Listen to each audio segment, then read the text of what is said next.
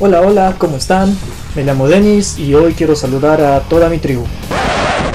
Puedo escuchar la voz de alguien preguntando, ¿Nos acabo de llamar tribu? Sí, los acabo de llamar tribu. Y no me refiero a una tribu de... o una tribu de... Uga, uga, uga, uga. Tribu es un grupo de personas que tienen una meta en común y un lenguaje en común. El lenguaje de los fotógrafos es la luz y nuestro objetivo es crear imágenes. Hmm, suena bastante como una tribu.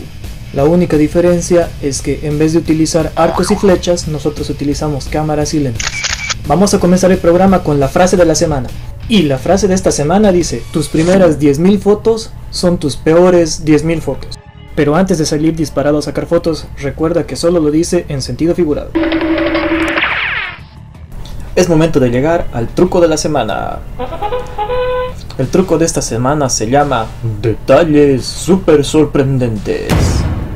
No me estoy haciendo la burla, de verdad se llama detalles súper sorprendentes. Y les voy a explicar cómo hacerlo.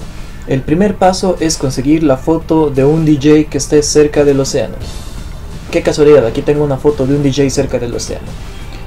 El segundo paso consiste en duplicar la capa. Para eso voy a presionar la tecla Control J. Y lo voy a hacer no una, sino dos veces. El tercer paso consiste en poner estas dos capas en un folder para lo cual voy a presionar la tecla Shift. Cuando ambas capas estén marcadas voy a presionar Control G, lo cual va a poner las capas en un grupo. Ahora que ya hemos puesto las capas en su propio grupo, lo que tenemos que hacer es cambiar la mezcla del grupo a Overlay. Pero todavía no hemos terminado. El siguiente paso es agarrar esta capa y cambiarla a modo Vivid Light o luz vívida. Si ustedes creen que la foto se ve horrible, esperen a ver lo que les voy a hacer ahora.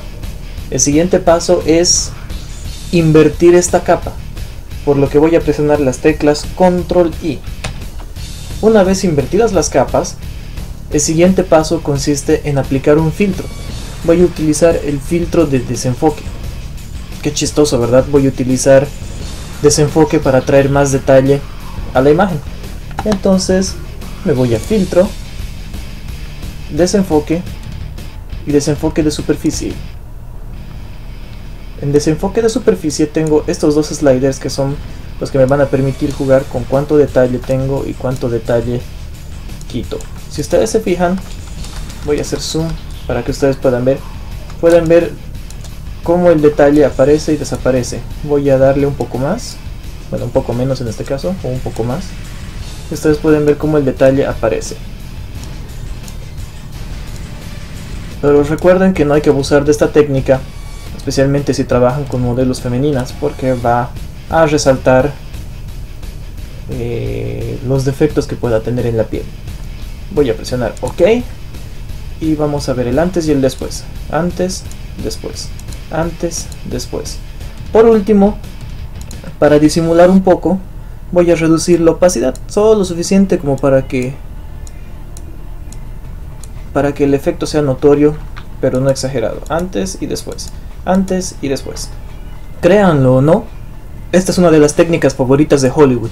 Si ustedes ponen atención a películas como Resident Evil o la serie The Walking Dead, ustedes se van a fijar que ellos utilizan mucho esta técnica. Alerta. El botón de compartir anda suelto y fue visto por última vez en las redes sociales. Si tú lo ves, presiónalo fuerte, asegúrate de que no escape. Mi querida tribu, eso es todo por esta semana. Mi nombre es Denis y me despido diciendo, sigan practicando. Uga, uga, uga, uga, uga.